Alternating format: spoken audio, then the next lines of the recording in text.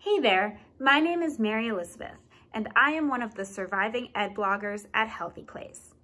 Now, I was not raised in competitive sports, but as a teenager, I dabbled in soccer and volleyball, and now as an adult, I'm a passionate distance runner.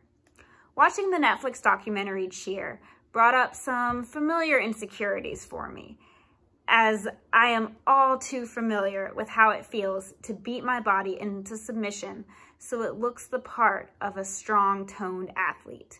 But this message is harmful.